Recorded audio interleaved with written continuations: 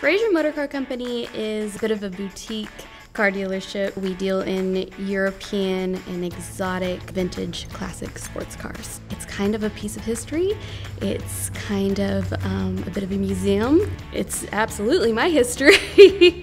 I was raised around American cars, so I wasn't exposed to MGs or Porsches. So when I was was moved to Santa Barbara, they were driving MGs and Jaguars and Ferraris. I liked the way they felt, and I liked the way they looked, and I liked the way they drove. I contacted my father back in Kansas City and said, These cars are being driven every day out here and they're very popular.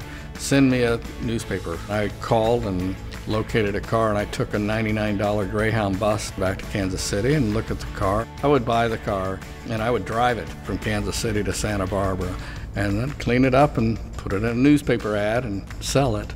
And then I'd do it again. 40 some years later, I'm still doing it. These cars are incredibly special and they all have their own story and their own history, and we like to portray that and try to keep that history alive because cars aren't made like this anymore. Each one has a character to them. If a man owned a car 30 or 40 years, he loved that car.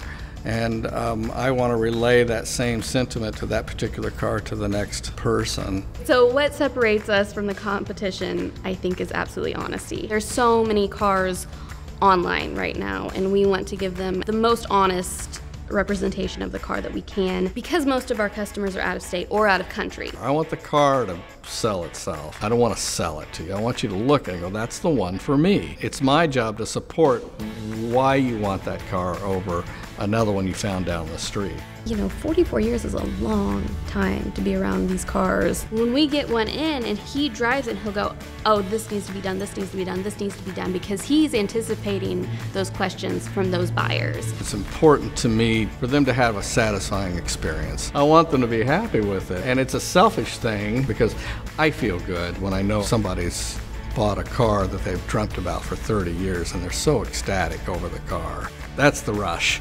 whatever we can do to make this the best buying experience that you possibly can have and to know that you can trust us and make you feel like, yeah, you, you made an honest purchase.